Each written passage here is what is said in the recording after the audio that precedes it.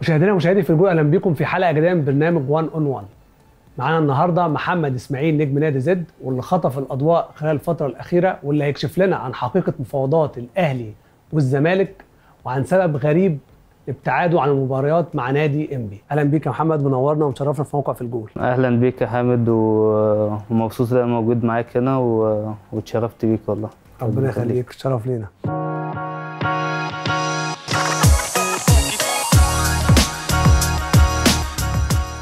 في البداية كده كله عايز يعرف مين محمد إسماعيل. عرفنا بقى بدايتك كانت إزاي والمشوار بقى كله لحد ما وصلت دلوقتي نادي زد وكلام كتير عن مفاوضات من الأهلي والزمالك. أنا بدأت من ناشئين إنبي آه، وأنا عندي سبع سنين. آه، فضلت في مرحلة البراعم لحد سن الناشئين. آه، لحد سن 19 سنة. بعدين آه، كابتن مجدي عبد العاطي أظن طبعا كان في آه، منتخب ناشئين. كان آه كنت دايما بتروح يعني المنتخبات كلها رحت آه رحت منتخب رحت كذا تجمع بس ما كملتش يعني. منتخب ناشئين ولا؟ منتخب ناشئين. ناشئين تمام. آه، مع طب الكابتن كان مين الجيل بتاعك أصلا؟ آه، الجيل بتاعي كان آه، عبد المنعم. محمد عبد المنعم. آه كويس وأحمد عبد القادر ومحمد شكري مرموش. حلو الجيل ده جيل آه. متميز جدا. حلو جه بقى الكابتن مجدي عبد العاطي كان موجود في نادي أسوان طلب. آه آه. الكابتن مجدي عبد العاطي طلبني من نادي إم بي في في سن وأنا عندي 19 سنة. بعدين رحت أسوان لعبت مع الكابتن آه، مجدي عبد العاطي يعني ده كده كان أول مرة تلعب فريق أول صح؟ ما لعبتش في إنبي وأنت موجود في إنبي ما صعدتش لا أنا كنت في ناشئين إنبي أصلا أنا ما اتصعدتش. آه، أنا اتصعدت اتصعدت في ناشئين إنبي وأنا عندي 17 سنة. يعني طلعت فترة في 17 سنة وبعدين. نز- آه لا ما كان مين. اللي طلعك؟ آه كان كابتن طارق عبد الله وكابتن طارق العشر آه وبعدين نزلت تاني يعني ما قعدتش فترة في الفريق الأول نزلت تاني على طول. آه فضلت من 17 سنة لحد 19 سنة ما طلعتش فريق أول تاني. الكابتن مجدي العاطي والكابتن ثابت صاروخ آه خدوني من ناشئين انبي لنادي أسوان اعاره لمدة سنة. بدأت في نادي أسوان آه اللي أنا ألعب آه سيردباك مع الكابتن اللي هو مجدي مركزك الأصل. آه اللي سيردباك. ولا أنت أصلا في حاجة تانية لعبتها غير السردباك؟ آه لعبت لعبت. آه، رقم 8 مع مين بقى؟ مع الكابتن مجدي ولا؟ لا الكابتن أحمد كشري. مع الكابتن كان الدور. الثاني الدور الأولاني مع الكابتن مجدي آه كان الكابتن مجدي مشي أصلا من النادي. آه كان مشي يعني. آه. لكن آه، الدور الأولاني كل الفترة اللي أنا لعبتها مع الكابتن مجدي عباطي كنت آه، سردباك والدور الثاني لعبت مركز 8 وجبت ثلاث أهداف مع الكابتن أحمد كشري.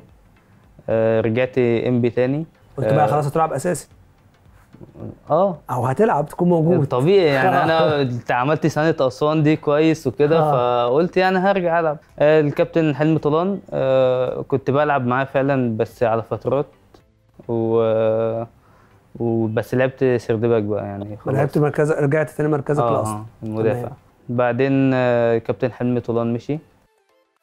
آه، جه تاني كذا مدرب آه، منهم الكابتن أحمد كوشر والكابتن آه، طلعت كابتن أحمد يوسف. عارفك بقى خلاص آه آه بس يعني لعبت معاه ماتش واحد واتصبت فقعدت فترة يعني لعبك بقى دفاع ولا لعبك لا؟ لعبت مدافع برضه آه اقتنع إن أنت في الثمانيه يعني مع إنك أنت المفروض ما أنا بقى لما. لعبت مع الكابتن حلمي طولان فترة طويلة مدافع فكنت آه. كويس فهو اقتنع بقى خلاص. آه تمام لعبت مدافع في أول ماتش في الدوري وبعدين اتصبت فكابتن أول ما رجعت يعني الكابتن أحمد كشري آه مشي من النادي أوي. آه. وجه الكابتن آه طلعت يوسف. الموسم ال- اللي فات بصراحة يعني عشان أكون صريح معاك ما كانش حد يعرف مين محمد إسماعيل. ده حقيقة. ولا حد كان بيتكلم أو اللي أنت بتلعب أساسي في نادي إم بي وكله اتفاجئ إن نادي زد أخد محمد إسماعيل. يعني شايفينها كانت صفقة عادية جدا. أنا ما كنتش بلعب في انبي طول السنة ال- اللي فاتت. بسبب آه، كان حصل آه، خطوبتي.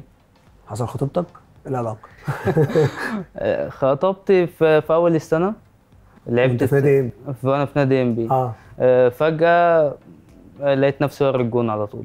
ورا الجون؟ آه عشان خطبت عشان خطبت عشان خطبت آه. طب إيه العلاقة؟ آه، أنت ما مثلا يعني لا إيه؟ مع اني لا كنت مبلغ. كنت مبلغ. مبلغ وقبلها بفترة وبلغت المدير الفني كان مين المدير الفني؟ كابتن تامر مصطفى. كابتن تامر مصطفى. آه. آه، بلغتهم وكل حاجة و- والدنيا جميلة يعني تخطب. مبروك والدنيا. ورحت اليوم بتاع التمرين يعني نفس يوم الخطوبة رحت التمرين. فجأة بعد الخطوبة لقيت نفسي ورا الجون على طول. يعني طول السنة. طول السنة. آه طول السنة ما لعبتش خالص بسبب الموقف دوت. بسبب موقف إن أنت خطبت؟ آه متأكد؟ للأسف. آه والله. يعني أنت عشان خطبت آه والله ده- استبعادك أيوه هما يعني هما من وجهة نظرهم كانوا شايفين ان إحنا كناش ما كناش ماشيين كويس في الدوري فإزاي اللي أنا راح أتبسط و... وإحنا بنزعل. هتتهرج ها؟ والله. بتهرج ده حقيقة والله.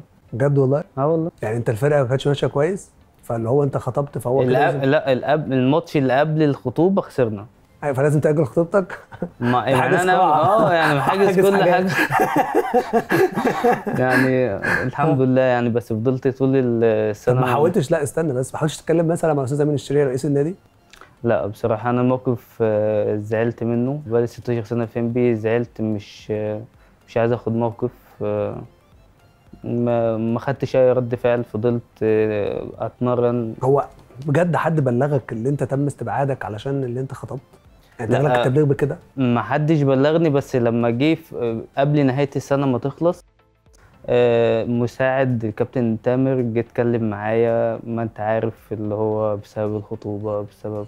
فهم يعني هم موضحين لي يعني هو الموضوع كان واضح أصلا وأكدوا لي يعني الموضوع ده بس فقلت لهم أنا ما عنديش طب. واللعيبة معاك اللي في الفرقة ما فيش حد جالك الخطوبه آه لا ما حدش جه وده كان تم تبليغهم يعني لا ده كان ما حدش يجي؟ جه عشان كان في معسكر كان في معسكر آه تمام لم- لماتش تاني. آه كان يعني هم عملوا معسكر بقى بسبب الموضوع ده. عملوا معسكر إزاي؟ يعني هو بيلعبوا فرقة فعملوا زو... يعني اخلوا المعسكر قبلها بيوم مثلا؟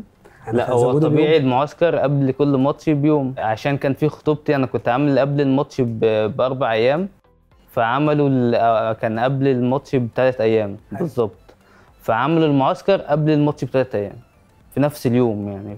وده يعني مش ده الطبيعي يعني. آه طب واللعيبة ما فيش حد جالك بقى بسبب المعسكر؟ ما حدش يجي لا حد ولا حد مثلا قال لك إحنا جايين لك؟ طب لك ونرجع طب لا اللعيبه ما كلموني كول. حتى الناس اللي اللي بره السكور ما حدش ما حدش ما أعرفش مش فاكر تفاصيل بالظبط بس آه، الجهاز الفني اللي كان بره السكور يعني ما كانش في المعسكر ما جوش. لأن هم يعني تقريبا دي. يعني تعليمات. آه. يعني ما خليش نخش في الموضوع ده. بس كده- كده- غريب بصراحة. لا بس ايا كان نادي انبي أنا أنا متربي فيه. ليه الفضل عليا أكيد مليون في المية. آه، مش معنى اللي حصل معايا موقف زي دوت من من مسؤول أو ايا كان هو المتحكم في الموضوع ده يبقى نادي انبي مش ليه الفضل عليا أكيد يعني. لا النادي انبي أكيد أكيد مليون في المية ليه الفضل عليا. من وأنا عندي ست سنين لحد ما مشيت من نادي انبي السنة اللي فاتت آه، أنا ابن النادي. حسيت بإيه ساعة ما جالك عرض نادي زد؟ لما ما لعبتش سنة كاملة أثر عليا أكيد يعني. الناس نسيتني يعني محدش أه، يعرفني. أه، جالي كذا نادي كان محتاجني. في الدوري الممتاز ولا؟ آه كذا نادي آه. بس ده وانت وانت يعني في وقت زد ولا ولا قبل وقت زد؟ ولا في فترة يعني مثلا في فترة من فترات في آخر season؟ آه. أه، جالي زد وكذا نادي تاني. بس ال- الكابتن مجدي عبد العاطي طبعا هو اللي طلبني. آه كابتن مجدي و- تاني فيعني آه. هو اللي خدك أسوان ولعبك دوري ممتاز. فأنا طبعا يعني لازم تروح. ليه الفضل عليا طبعا اللي هو هو اللي نقلني النقلة ديت. فما أقدرش أرفض له طلب يعني. أنت شايف إن في مدرب بيحب ويكره يعني يحب لعيب فبياخده معاه في كل نادي؟ مش شايف دي خالص. شايف بيحب ويكره ولا مقتنع باللعيب؟ لا ما هو في ما هو في فرق اللي هو مثلا أنا بحب مح- محمد إسماعيل فبروح أي نادي باخده معايا. لا مش عشان ال- الموقف بتاعي دوت آه، فالكابتن مجدي خدني في أسوان فهو خدني في زد. الكابتن مجدي اتدرب اقتناع آه، لا الكابتن مجدي كان معاه لعيبة في أسوان وكان معاه لعيبة في في زد في الدرجة الثانية فهو عارف وشاف اللعيبة وفي لعيبة كويسة فمش معنى كده اللي هو كل لعيب هيكون معاه هي- هيفضل معاه في كل حتة. ما يعني ملهاش علاقة خالص. هي ليها علاقة ب- باللعيب. أنا بتكلم الكابتن مجدي دايما بيحب ياخدك في كل نادي بيروحه. ما عشان أنا مش عشان بيحبني. حلو. عشان, عشان إمكانياتك. إمكانياتي. حلو. هو مقتنع بإمكانياتك بالظبط. مقتنع بإمكانياتي واللي أنا لعيب قال لك كويس. إيه؟ قال لك الكابتن مجدي ما عجبك في زد أول مكالمة بينك وبينه قال لك إيه؟ هو كان مستغرب اللي أنا ما كنتش بلعب في إنبي إزاي. وأغلب الناس كلها كانت مستغربة حتى في في إنبي يعني. كان الموضوع واضح يعني. كان واضح وضوح الشمس آه، كده كده يعني. تمام. مش مالوش علاقة فنيا ليه علاقة بأسباب تانية. كل ده بسبب الخطوبة. انت السبب. دي حقيقة والله. محمد إسماعيل بقى لعب الموسم الحالي مع نادي زد أساسي. انت بيم- بيمثل لك نادي زد إيه؟ من أحسن الأندية اللي أنا لعبت فيها. وده واضح للكل كمنظومة من ناشئين لحد الفريق الأول آه، حاجة جميلة.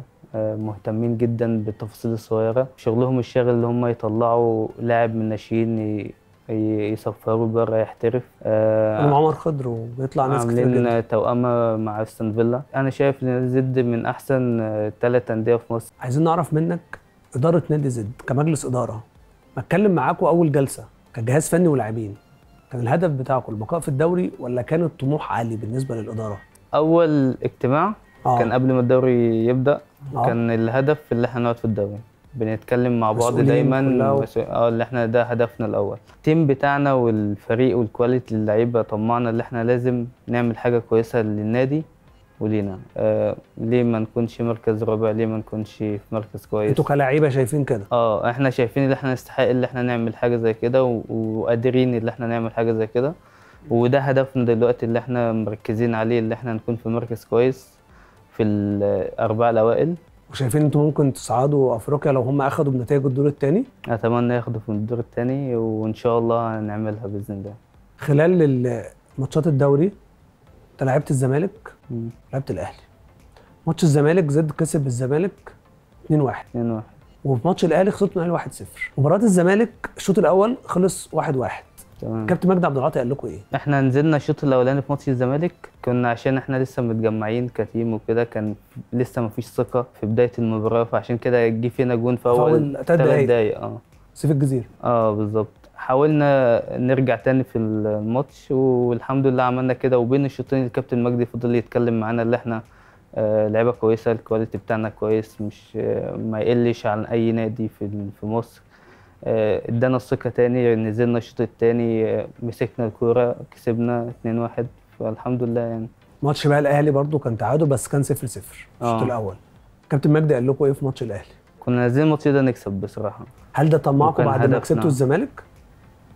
كلاعيبه لا، ولا كان ملهاش علاقة. مالهاش علاقة. لا طب ملهاش اشمعنى ان علاقه أنتوا كنتوا نازلين في الأهلي عايزين تكسبوا الأهلي؟ عشان إحنا إحنا بننزل كل ماتش عايزين نكسب. آه. آه الأهلي نادي كبير طبعا. آه يعني ما فيش خلاف على الكلام ده. أكيد طبعا. لكن إحنا بنكون حابين نعمل حاجة مختلفة لينا حاجة لنفسنا آه للنادي.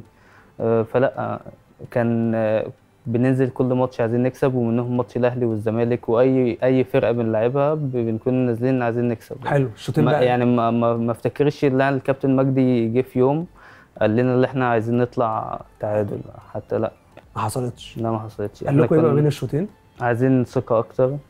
عشان آه، ننفذ ال- التكتيك اللي إحنا عايزين نعمله وطول ما كان الماتش بيطول كان ساعتها الأهلي كان في ضغط ماتشات هنيجي في الآخر وإن شاء الله نكسب وهنجيب جون بإذن الله تمام بس آه، ده ما حصلش ما حصلش والأهلي أصلا قدر اللي هو يسجل جون تقريبا في الدقيقة آه، في 94 الدقيقة أو 94. 95 كان أسامة أبو علي تقريبا آه. صح كده آه. ساعتها الجول اللي دخل في علي لطفي ناس على ال social media واتكلموا إن علي لطفي مفوت الجون وكده. أنتوا ح... يعني أنتوا حسيتوا ال...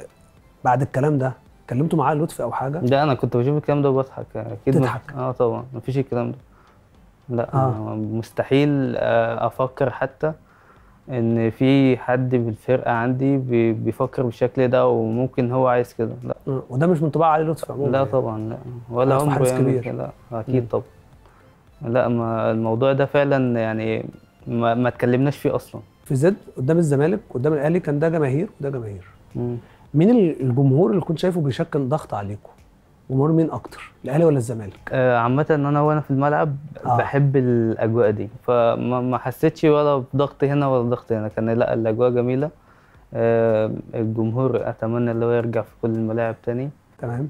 آه، لا الموضوع ممتع فعلا لكن ما بس مش شايف. إن دي ميزة للأندية الجماهيرية عن الأندية الشركات أو الأندية الاستثمارية أو الأندية اللي ما عندهاش جماهير أصلا؟ كنادي زد مثلا أنت ما فيش جمهور عندك. مم. ففكرة إن يبقى في جماهير كتير فده بيدي ميزة للنادي المنافس ليك؟ أكيد بيدي دافع ليهم بس ده ما يمنعش اللي إحنا هنتحط تحت ضغط يعني. كل لعيب بيلعب في في الماتش ده بيعبر عن شخصيته آه، في في الجمهور أو من غير الجمهور فلا أعتقد اللي هو الموضوع بيكون أحسن يعني مش أسوأ خلال الفترة الأخيرة كان في تقارير صحفية كتيرة جدا بتقول إن نادي الزمالك عايز محمد إسماعيل وفي نفس الوقت كان في تقارير صحفية بتقول إن كولر معجب بمحمد إسماعيل هل الأهلي أو الزمالك تفاوضوا مع نادي زد أو تفاوضوا مع محمد إسماعيل ولا لأ؟ كلام كتير قوي على ال social media الفترة اللي فاتت محدش من الأهلي والزمالك كلمني أو تواصل معايا بس وكيلي بلغني إن الأهلي والزمالك متابعيني في الأول وفي الآخر في نادي زد آه، القرار ب- بإيد الإدارة والكابتن مجدي أكيد إنك مرتبط بعقد وملتزم يعني بعقد ثلاث سنين مع نادي زد وأكيد اللي شايفينه أنا يعني أنا معاهم يعني. لو جالك يعني مجلس الإدارة في نادي زد بلغك وقال لك دلوقتي يا محمد إحنا معانا عرض من الأهلي وعرض من الزمالك هتروح لمين؟ هو يعني هيبلغني الاتنين؟ آه الاثنين جم لك دلوقتي؟ أكيد أكيد اللي هو شايفه بالنسبة له أصلح النادي. النادي. حلو. هيقول لي آه، النادي ده. عشان هو أكيد يعني بالنسبة له الموضوع هيكون مختلف كماديا يعني. للنادي. آه أكيد يعني.